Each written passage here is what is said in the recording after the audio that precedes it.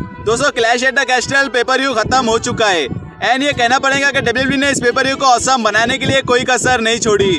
और बात करें Roman Reigns versus Drew McIntyre के मैच की तो अगर आप मेरी वीडियोस को रेगुलर देखते होंगे तो आपको इस मैच का रिज़ल्ट पहले से ही पता होगा। क्योंकि मैंने इस मैच को पहले ही प्रिडिक्ट कर दिया था। एंड आपको तो पता है कि मेरे प्रिडिक्शन किस लेवल के होते। आप क्लैश एट द कैस्टल का मैच तो बहुत ही अच्छा था। लेकिन मैच के एंड में जब सोलो सिकावा ने रोमन रेस की हेल्प करी तो ये क्लियर हो गया कि डब्ल्यू के रोमन रेस को लेकर बहुत ही बड़े प्लान है जिसे सुनकर यकीनन आप खुश तो ज़रूर होंगे। बस उस खुश खबर को सुनने के लिए आपको इस वीडियो को पूरा देखना है। So hello friends I am Ben और चलिए आज की वीडियो को स्टार्ट करते।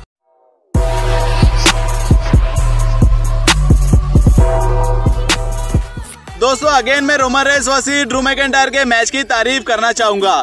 एंड थैंक्स टू डब्ल्यू इन्होंने इस मैच को हमारी एक्सपेक्टेशन के लेवल का डिलीवर किया। बट लास्ट में डब्ल्यू ने जो सोलो सिकावा वाला एंगल प्लान किया, उसे लेकर काफ़ी कंफ्यूजन क्रिएट हो चुका है। अब कई रेसलिंग फैंस इस मूव को ऐसा कंसिडर कर रहे हैं कि सोलो सिकावा ब्लड लाइन के न्यू मेंबर होने वाले। एंड डब्ल्यू में उन्हें अच्छा बूस्ट देने के लिए डब्ल्यू ने सोलो सिकावा को रोमन रेस के साथ जोड़ दिया है। बट गाइस अभी जितना ये एंगल सिंपल दिख रहा है एक्चुअल में ये उतना ही कॉम्प्लिकेटेड है। एंड जो तेरी सामने आ रही है कि सोलो सिकाओ बस उसोस की तरह रोमन रेस की मदद करेंगे, ये कुछ हद तक गलत है। अब क्यों सोलो सिकावा को डब्ल्यू ने रोमन रेस के साथ इतने शानदार वे में ऐड किया इस बारे में डिस्कस करने से पहले big shout out to Haider Ali and Aliya Jaha and Aliya Jaha bro I understand the problem and मैं आपसे वीडियोस को रीअपलोड करने की जो फ्रीक्वेंसी है, उसे बहुत हद तक कम कर दूँगा। एंड आई एम सॉरी और साथ ही big shot out to you and मेरे दूसरे व्यूअर, जिन्हें वीडियो में फीचर होना है तो बस चैनल को सब्सक्राइब करके वीडियो पे कमेंट करो।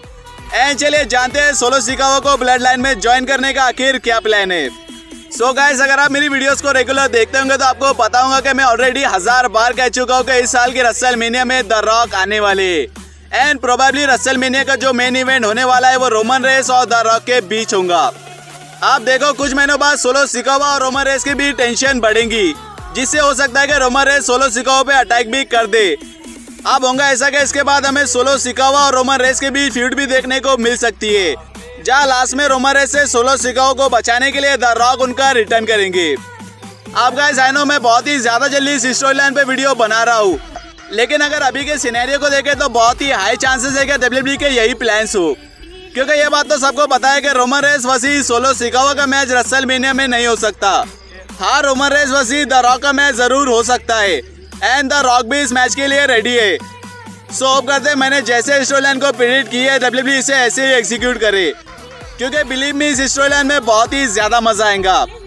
आप क्या अभी मेरी तरह रॉक वसीज रोमन रेस के मैच के लिए एक्साइटेड हो?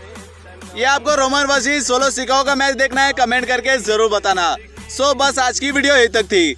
वीडियो पसंद आई हो तो इसे लाइक कर देना और अगर आप पहली बार रेसलिंग टॉक हिंदी पर आए हो तो चैनल को सब्सक्राइब करके बेल आइकन को भी दबा देना, जिससे मेरी न्यू वीडियोस की नोटिफिकेशन आपको मिलती रहे। So see you guys in my next video